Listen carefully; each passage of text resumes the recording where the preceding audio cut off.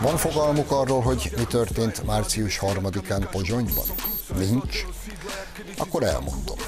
Március 3-án, késő délután Pozsonyban mintegy tízezres tömeg gyűlt össze az Amerikai Egyesült Államok nagykövetsége előtt. Aztán ez a tömeg, aki tüntetni ment oda, egyebek mellett orosz népdalokat énekelt, bizonyára sokan ismerik önök közül is az egyiket, a Pusszigdát Búgyet Szolncét, amit az én korosztályomnak még az általános iskolában meg kellett tanulnia, és mikor vége lett a dalnak, akkor Rosszia, Rosszia, vagyis Oroszország, Oroszország felkiáltásokkal demonstráltak az amerikai követség előtt. Másrészt pedig az amerikai Egyesült Államok nagykövetsége előtt tízezernyi szlovák azt is kiabálta kórusban, hogy Amerika Damov, vagyis Amerika takarodj haza.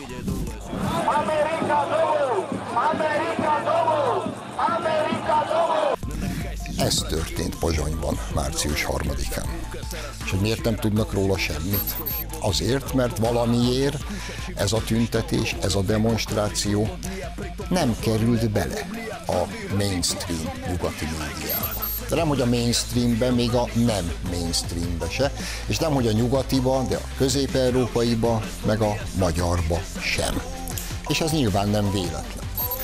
Miképpen azon is elgondolkodhatunk, elgondolkodhatnánk, hogyha ugyanilyen tüntetés, ugyanilyen skandálással, ugyanilyen jelszavakkal mondjuk Budapesten történt volna az Egyesült Államok Követsége előtt, az vajon bekerült volna-e a fősodratú médiába?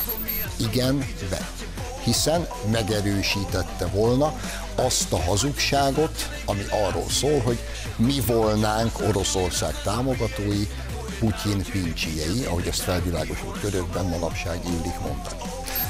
A lényeg a lényeg, az európai társadalmak hát minimum megosztottak. Háború és béke, Ukrajna és Oroszország kérdésében. És az a nagy kérdés, hogy az európai kormányok vajon meddig lesznek képesek a saját társadalmaik akarata, szándékai és gondolatai ellenében politikát csinálni. Majd meglátjuk.